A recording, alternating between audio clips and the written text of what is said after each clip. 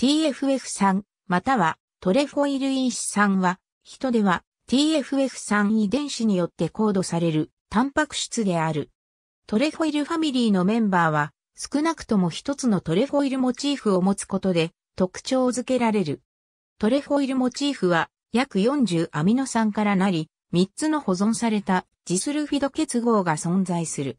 トレフォイルファミリーは胃腸粘膜で発現する安定な分泌タンパク質である。機能は多様であり、粘膜の保護、粘液の増粘、上皮の治癒の促進などがある。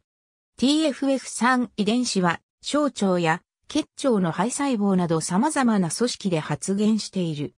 TFF3 遺伝子と他の2つのトレフォイルファミリーのメンバーの遺伝子は21番染色体にクラスターとして存在する。人の3つのトレフォイル因子はすべてレクチンであり、グルクナックアルファ -1、4にあるの2等に対して特異的に相互作用する。この2等は粘膜の高度にグルコシリ化されたムチンにのみ存在することが知られている等差エピトープである。TFF は2つの糖鎖、エピトープに結合して、ムチンを加強し、粘液の厚さと粘度を可逆的に調節する。TFF は TFF1、TFF2、そして TFF3 からなる。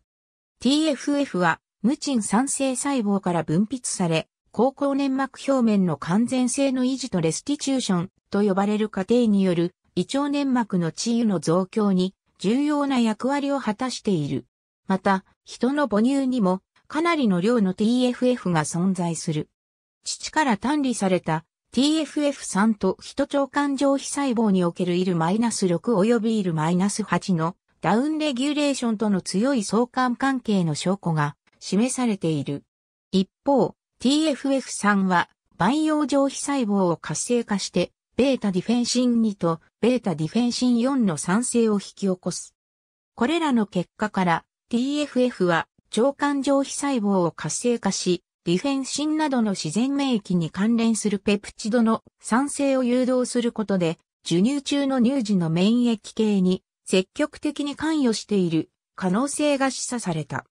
パール2の活性化には2つの主要な機構が記載されている。一つは、プロテアーゼによるパール2の N 末端の細胞外領域の特異的切断によって受容体活性化ペプチドを露出させ、露出したテザードリガンドと受容体本体との相互作用によって細胞シグナル伝達を引き起こすものである。もう一つは、スライグクフなど受容体に結合する構成ペプチドによってプロテアーゼによる作用を模倣するものである。授乳期間中、人の乳に分泌された TFF3 はパールに受容体を介して腸管上皮細胞を活性化することで、HBD2 や HBD4 の発現やサイトカインの調節を誘導している可能性がある。バレット食道の検出やスクリーニングの精度と許容性を向上させるため、摂取可能な食道サンプリングデバイスと TFF3 を円柱上皮のマーカーとして利用した免疫細胞染色を組み合わせたプロセスが開発されている。しかし、こうした検査の臨床的有用性は、胃の噴門部で TFF3 が頻繁に染色されることや、それに伴う偽陽性のリスクという限界が存在する可能性がある。ありがとうございます。